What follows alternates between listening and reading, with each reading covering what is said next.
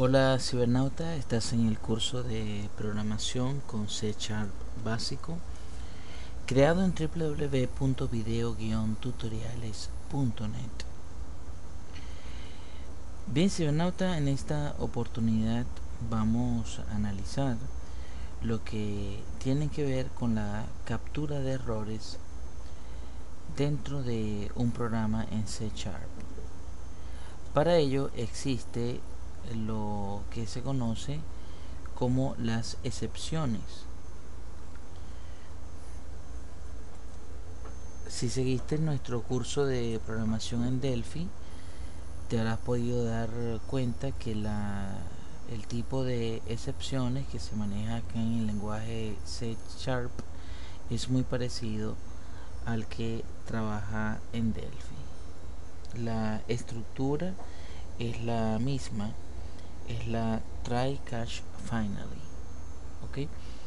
Entonces es una estructura de captura de excepciones, captura de errores muy conocida. Y bueno, y si quieres podemos uh, analizar un poco acá en la ayuda en pantalla sobre las excepciones vamos a buscar acá sobre las excepciones en C Sharp ok entonces eh, podemos colocar aquí buscar. Ok luego que nos aparezca la palabra buscar podemos colocarle C Sharp y colocarle excepciones excepciones C Sharp el símbolo es numeral ok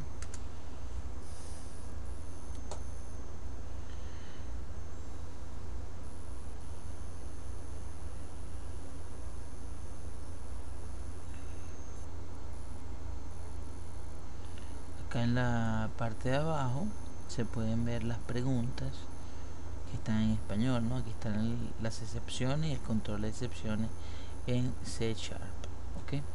Entonces eh, podemos darle un clic allí y podemos ver que en las excepciones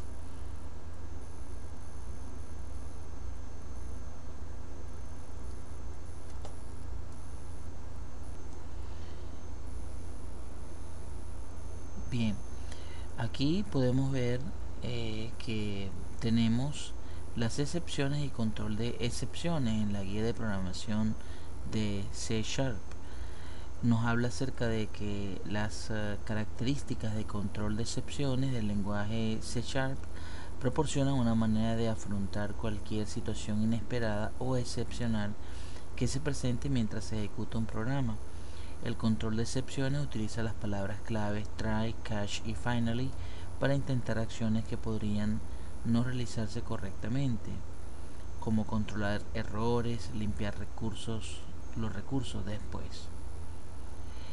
El Common Language Runtime o CLR, las bibliotecas de otro fabricante el, o el código de aplicación que utiliza la palabra clave throw pueden generar excepciones.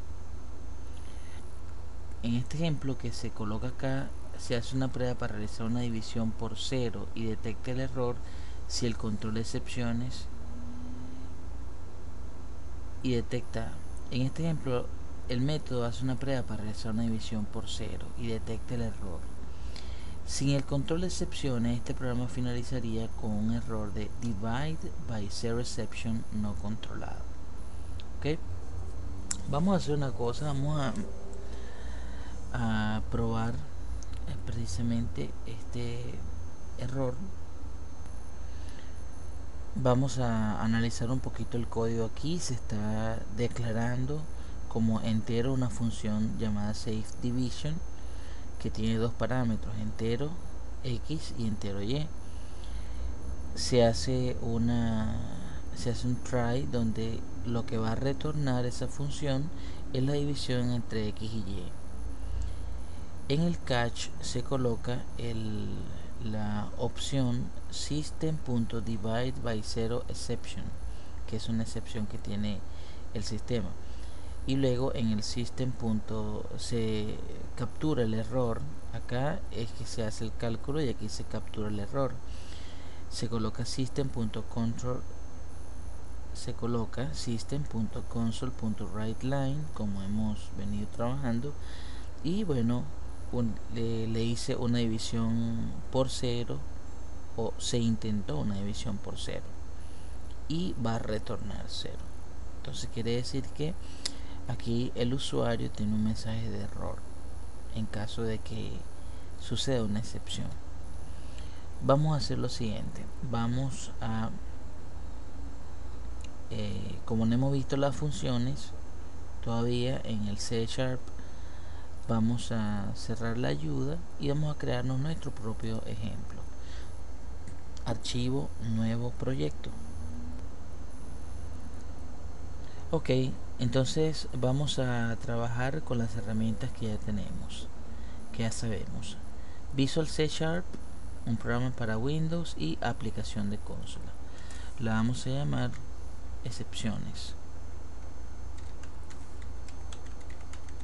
excepciones así de esta manera. Le damos a aceptar y esperamos que él cree el espacio necesario para el proyecto excepciones. Ok lógicamente va a crear un namespace llamado excepciones una clase general que llama program que la tenemos y un método principal que es el método main. Aquí es donde vamos a comenzar nuestra programación. Ok si nota si em, estuviéramos trabajando eh, con la intención de capturar una variable del teclado lo que vendríamos haciendo sería lo siguiente declarando una variable string declarando un valor ok y colocando como hemos venido haciendo console console punto readline ok pero nosotros queremos a la vez convertir no como habíamos hecho en los ejercicios previos, sino ahora utilizando una instrucción, colocando una instrucción que tiene el lenguaje C Sharp, que es el int.parse. Vamos a ver cómo se hace esto. Vamos a llamar una variable que se va a llamar conversión, así, conversión, y vamos a llamar a int.parse ok qué es lo que voy a pasar aquí aquí voy a pasar el método el aquí voy a pasar la variable valor la variable string. Aquí se ha debido haber convertido ok de hecho si lo desean podemos colocar un console. Ok un console punto right line.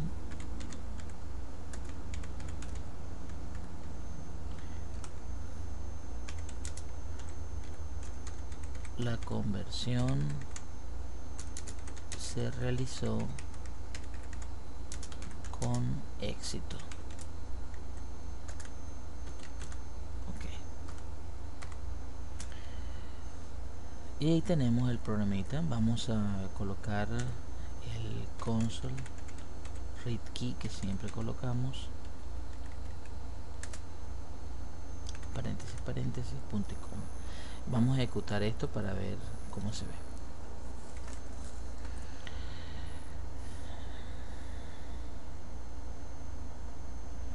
Bien lógicamente aquí estamos pidiendo un valor ¿verdad? un valor un valor me indica a mí que es un número ok pero el número va en una string. Vamos a colocar un número. Si le coloco 15 me dice que la conversión se realizó con éxito. Pasó por acá por int conversión hizo la conversión y eh, está esperando aquí con el read key para que cerrar la ventana. Pero si yo coloco un valor string coloco un valor string. Vamos a ejecutar nuevamente. Aquí lo tenemos verdad aquí vamos a colocar un valor string. Vamos a colocar Javier. Entonces lógicamente él me va a decir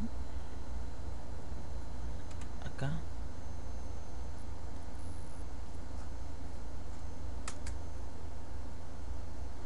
le doy a enter.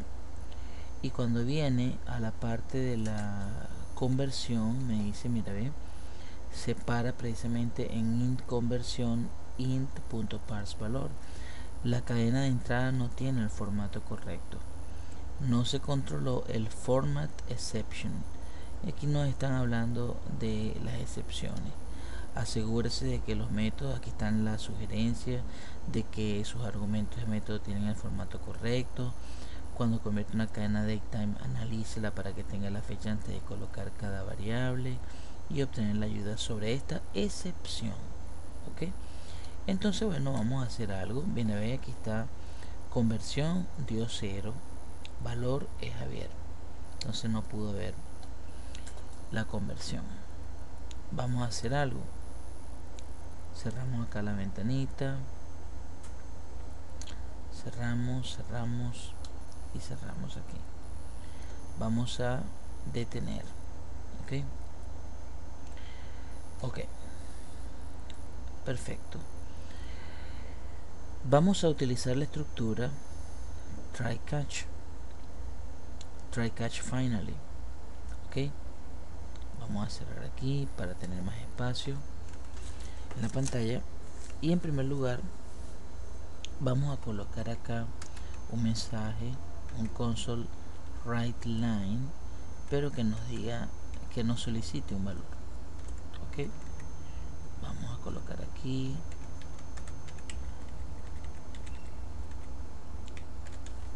Introduzca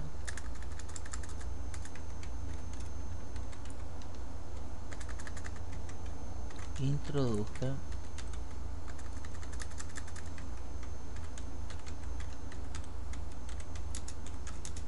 Un valor numérico.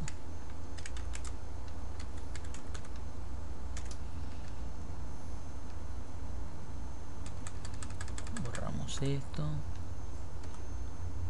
Que no se nos olviden las dos comillas ok. Entonces Becibernauta aquí en esta estructura vamos a hacer lo siguiente. Vamos a utilizar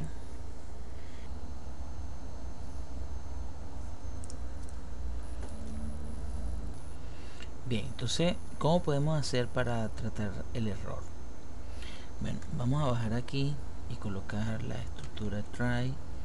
Bien vamos a darle tab dos veces 1 y 2 y él automáticamente coloca la estructura try cache.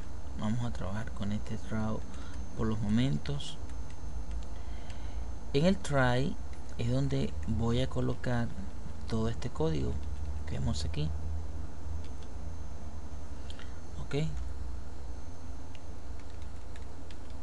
Este código que vemos acá.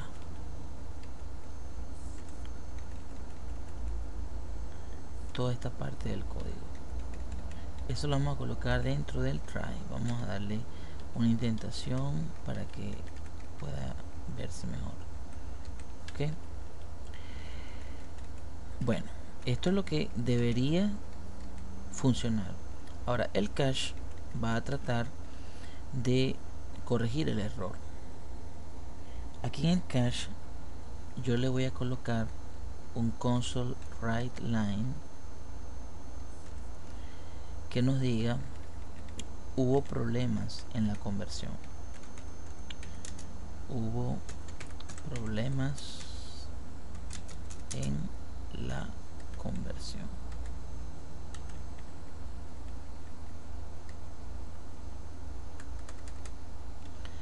Ok. Y bueno, lógicamente en el, la parte del console read key esto vamos a borrarlo ya no nos hace falta tenemos arriba. El console read key lo podemos colocar en la cláusula finally ok finally aquí la tenemos ok y abrimos la llavecita. Y esto es la última instrucción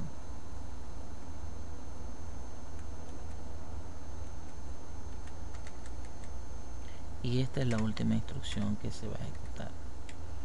Console read key. Cerramos la llavecita. Aquí. Ok. Bien entonces veamos entonces cómo funciona esto. Vamos a ejecutar. Ok introduzco un valor numérico. Coloco 10 la conversión se realizó con éxito. Quiere decir que pasó en el try en el bloque try. Vamos a ver, colocar ahora mi nombre para em, ver cómo se dispara la excepción. Yo me equivoqué y coloqué un valor Javier, entonces me dice, hubo problemas en la conversión, pero no eh, se tranca el programa como hicimos en la primera oportunidad, que vimos que se paraba el programa y se paraba en la instrucción donde estaba causando el error. Aquí en este caso tenemos uh, control sobre el mensaje que se presenta en la excepción. ¿ok? Lógicamente, acá cuando finaliza él está esperando el finally es el read key console.read key. Ok entonces vemos que funciona. En caso de que sucedan los errores podemos capturarlo. Aquí tenemos el código necesario para ejecutar el try y el mensaje en el exception. Ahora si queremos ver cuál es el mensaje que la excepción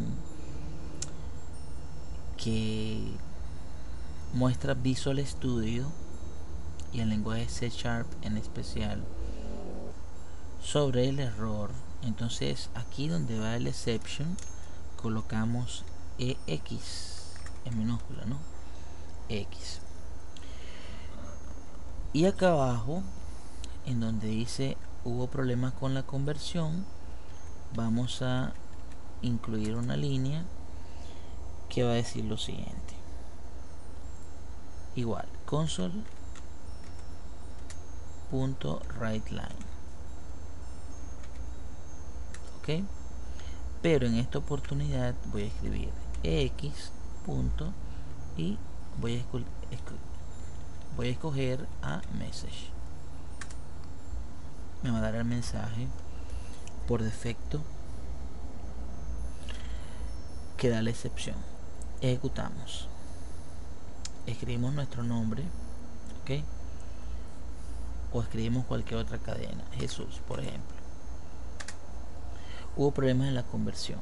Entonces el console.write.x.message lo que nos da es la cadena de entrada no tiene el formato correcto.